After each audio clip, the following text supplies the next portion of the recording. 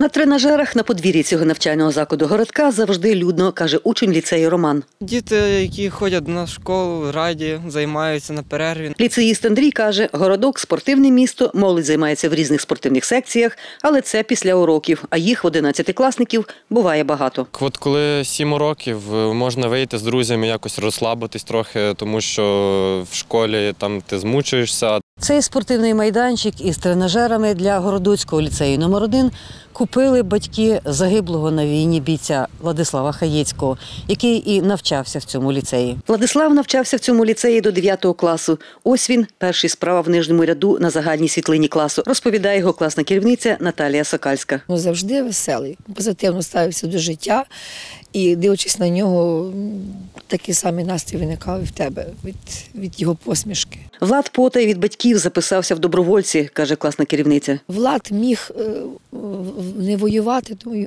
його не призивали до війська, тому що він інвалід дитинства. Е, Але він сам добровільно пішов, і батьки дізналися про те, що він пішов вже коли він був на місці. А звістка про його загибель, розповідає вчителька, шокувала всіх у ліцеї. Я приходжу, заходжу, всі бачать, що я плачу, не можу промовити слова, і кажу, що мій влад загинув.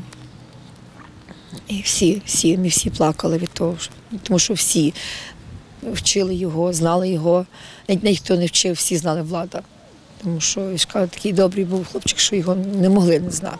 Вчителі навчального закладу сказали, батьки не хочуть спілкуватися з жодними медіа і розповідати про це, тому що вони дуже важко переживають втрату свого сина. Вони сказали, ми хочемо, щоб нашого сина пам'ятали, і от пам'ять про сина саме встановили ось таку, такий майданчик. За її словами, батьки відмовилися урочисто відкривати майданчик, просто передали на нього ліцею документи. Каже, коштує він дорого. Це навіть не в 100 тисяч.